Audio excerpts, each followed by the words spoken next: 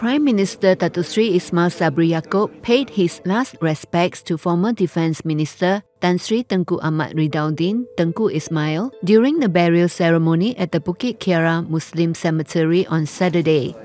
Tengku Ahmad Ridauddin, who was also a former UMNO Disciplinary Board Chairman and a member of the Supreme Council, passed away at his residence in Jalan Tuta at 8.43 p.m. on Friday, aged 94.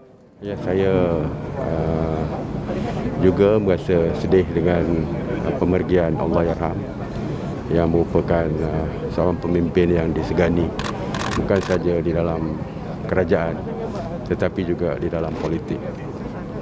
Uh, sebagai ahli UMNO jawatan tertinggi yang dipegang oleh uh, almarhum adalah uh, naik presiden UMNO dan uh, banyak kementerian yang diterajui oleh Allah Yarham sewaktu beliau di dalam kerajaan dan jawatan terakhir dalam UMNO pun adalah sebagai uh, pengusi lembaga disiplin UMNO.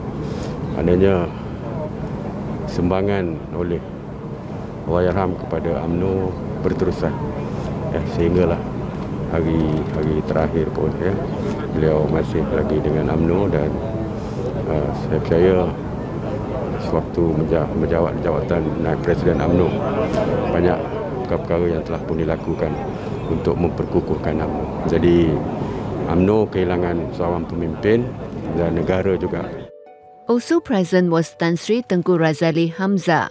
Well, he's my cousin. We are quite close. But he's from the Patani side, you know, of our family. Very active sports, in sports. And also he was very passionate legal uh, professional. He's a very good man. He's got many friends, a lot of admirers. He has uh, prominently appeared for us in international forums and spoke on our behalf on matters concerning this region, ASEAN region especially.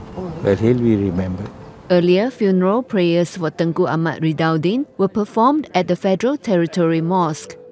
Tengku Ahmad Ridauddin served as Defence Minister from 1987 to 1990. He was minister with special functions to assist Tun Abdul Razak in the Foreign Ministry in 1973. Other posts included being the Information and Special Functions Minister in 1974, Foreign Minister in 1975, Trade and Industry Minister in 1981, before being reappointed as the Foreign Minister in 1984 and Information Minister in 1986. Earlier, Yang di-Pertuan Agong Al Sultan Abdullah Riaduddin Al Mustafa Billah Shah and Raja Permaisuri Agong Tunku Haja Aziza Aminah Maimuna Iskandaria also expressed their condolences to Tengku Ahmad Ridauddin's family. Their Majesties expressed sadness over Tengku Ahmad Ridauddin's passing and praised highly his service, deeds and sacrifices for the country. Tengku Ahmad Ridauddin left behind wife Tengku Puan Sri Noraini Tengku Zainal Abidin and six children.